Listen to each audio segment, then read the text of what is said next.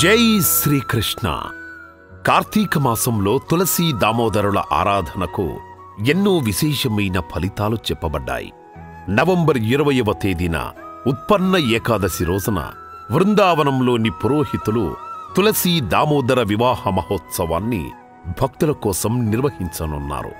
కార్తీక శుక్ల ఏకాదశి రోజున యోగనిద్ర నుండి మేల్కొనే శ్రీ మహావిష్ణువు బ్రహ్మతో పాటు పవిత్రమైన తులసీమాత యొక్క బృందావనంలో నివసిస్తాడని పౌరాణికులు చెబుతారు.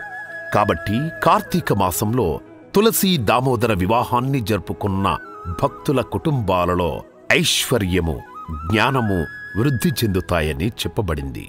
పవిత్రమైన వృందావన్ క్షేత్రంలోని ఒక ప్రాచీన మఠంలో నిర్వహించబడే ఈ సేవలో భక్తులు పాల్గొని తమ గోత్రనామాలు సంకల్పంలో చెప్పించుకొని పూజా ఫలితాన్ని పొందవచ్చు. వెంటనే దేవసేవ డాట్ కామ్ లేదా యాప్ ద్వారా ఈ సేవలను మీ పేరున బుక్ చేసుకుని పవిత్రమైన ఈ కార్తీక మాసంలో భగవత్ కటాక్షాన్ని పొందండి.